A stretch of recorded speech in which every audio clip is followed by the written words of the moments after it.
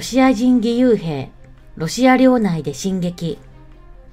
選挙圧勝、プーチンのメンツ潰し狙う。ロシアとウクライナの戦争でウクライナ側に立って戦うロシア人義勇兵の3部隊は17日もウクライナと国境を接するロシア2州への越境攻撃を続けた。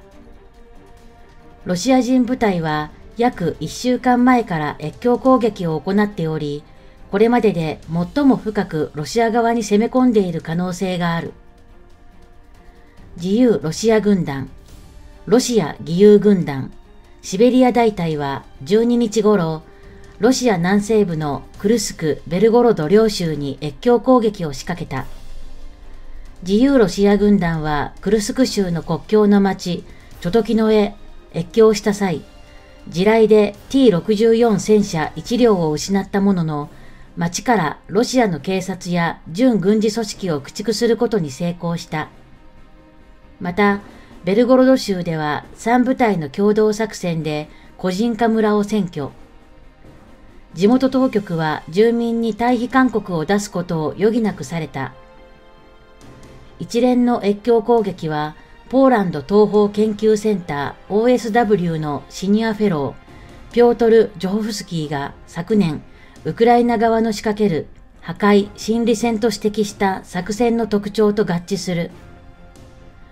ロシア人部隊は、ロシアがウクライナに全面侵攻した2年余り前から、ウクライナで活動している。越境作戦の目的は土地の占領ではない。むしろロシアのウラジーミル・プーチン大統領に恥をかかせ、権威を失墜させるのが狙いだ。今回の侵攻のタイミングが15日から17日に実施されたイカ様のロシア大統領選と重なったのは偶然ではない。ジョホフスキーはロシア人部隊の以前の越境攻撃について、軍事的な重要性はあまりないにせよ、ロシア国境守備兵の弱さ、中んずくこうした事態に即応する能力が限られていることを露呈させたとコメントしている。ロシア軍の主力部隊は、ウクライナ東部と南部での攻勢を維持するため薄く引き伸ばされた状態になっており、その攻勢も現在はおおむね頓挫している。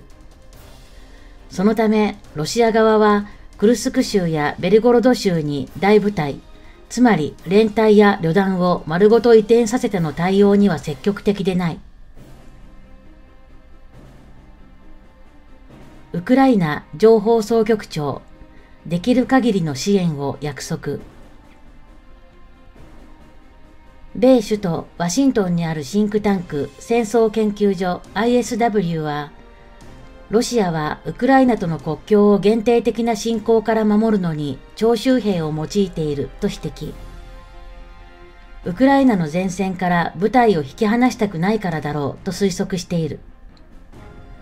ロシア側は訓練の不十分な小規模の現地部隊がどうにかロシア人義勇兵部隊を抑え込んでくれることにかけているようだ。義勇兵部隊はそれぞれ数百人と小規模であり、ウクライナ軍とは別個に行動しているため、遠距離の兵隊支援もない。ウクライナ国防省情報総局とつながりがあるものの、緩やかな連携にとどまっている。ロシア側の賭けが成功するかどうかは現時点では見通せない。ウクライナのシンクタンク防衛戦略センター CDS の17日の戦況評価によれば、現地のロシア軍は個人化の北で義勇軍部隊の前進を阻んだ。一方で義勇軍部隊は個人化の西のゴリコフスキー村に進撃している。ロシア側と同様にウクライナ側もこの越境作戦に多くのリソースを費やしていない。反プーチンのロシア人義勇兵部隊の戦果は彼らが自ら主導しウクライナ政府から最小限の支援しか受けずに成し遂げているものである。とはいえ、今回の侵攻の深さと持続性は、ウクライナ情報総局にとっても驚きだったようだ。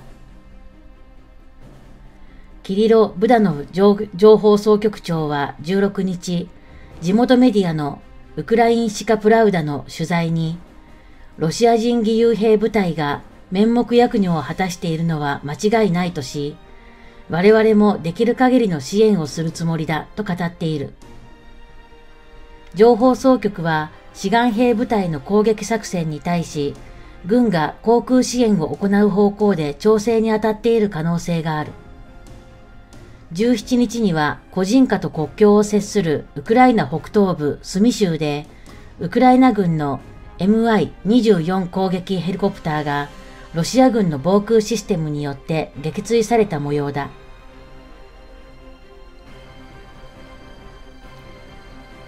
ウクライナ総司令官、無人機開発を優先、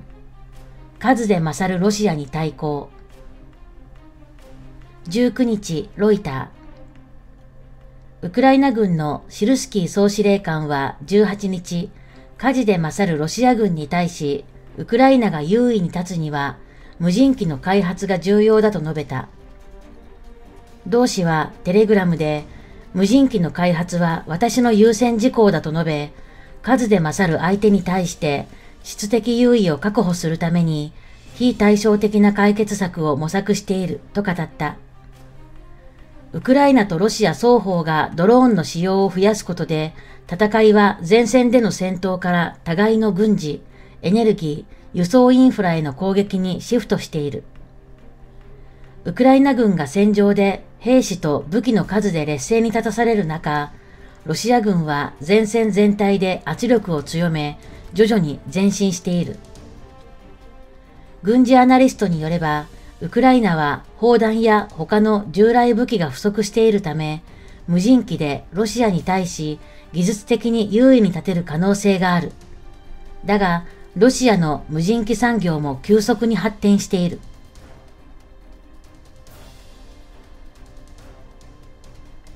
ロシア海軍の総司令官が交代。相次ぐ艦艇喪失理由か。国営ロシア通信は19日、ロシア海軍の総司令官代行に北方艦隊の司令官だったモイセーフ氏が着任したと報じた。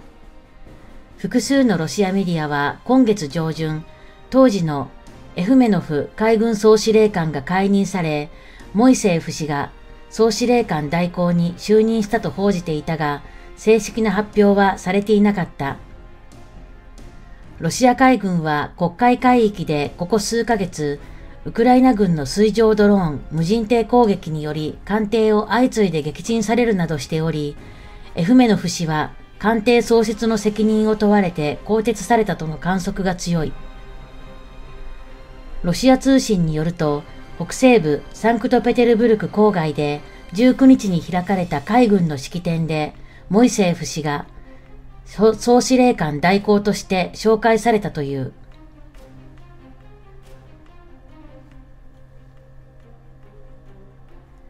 ウクライナ部隊での初使用を確認。アメリカ供与の新装甲車姿を表す。供与発表から1年半近くかかった理由とは訓練中の車両と思われる。ウクライナ陸軍の第425突撃大隊は、2024年3月17日、アメリカから供与を受けた M1117 装甲警備車を使用し、訓練をしている様子を公開しました。ウクライナ軍の部隊が同車両を動かしている様子が公開されたのは今回が初となります。同車両はアメリカが2022年11月4日付で発表した援助パックの一つとして250台供与されることが明らかとなっていました。しかし、同時期に供与されたフェニックスゴースト無人偵察機や MIM23 ホークサムシステムなどはすでにウクライナ戦場で使われている様子が公開されていましたが M1117 装甲警備車に関しては情報がありませんでした。ウクライナでは同車両が戦場に姿を現さない理由として、アメリカ軍がイラクなどで使っていた砂漠戦仕様であるため、ウクライナ用に回収される作業が進められていると報じられていました。回収期間は2023年9月の段階で18ヶ月かかると報じられており、そのことが事実だとすれば、かなり回収期間が短縮された状態での納入になります。ウクライナ軍に速やかに装甲車を援助する必要性があったため回収と納入を早めたとの報道もあります。なお、M1117 装甲警備車は V150 コマンド装甲車をもとに開発された車両で、アメリカ陸軍などで警備目的や後方でのゲリラ戦に対応するために配備されています。ウクライナ軍の魔改造戦車が活躍？ロシア軍陣地を手法で破壊する映像が公開される。1958年に登場した T55 を近代化改修した戦車。ウクライナ国防省は2024年3月16日、スロベニアから供与された M55S 戦車がロシア軍の陣地を破壊したとする映像を公開しました。M55S は旧ソ連が開発した T55 を北大西洋条約機構 NATO 仕様に改修した戦車です。T55 は1958年に登場した古い戦車で100ミリ砲を搭載。原型となった T54 や派生型も含めると約10万両以上が生産されたベストセラー戦車です。M55S はこの T55 が装備する100ミリ砲をイギリスが開発したロイヤルオードナンス L7、105ミリライフル砲に換装。イスラエル製の爆発反応装甲を新たに取り付け、射撃管制装置などもアップグレードしています。スロベニアは M55S をウクライナに28両供与しています。映像を撮影した時期や場所については明らかにしていませんが、M55S が木を押し倒しながら走行したり、手法をロシア軍陣地に向けて射撃している様子が確認できます。車体にはウクライナ軍の車両であることを示す白十字が描かれていることも確認できます。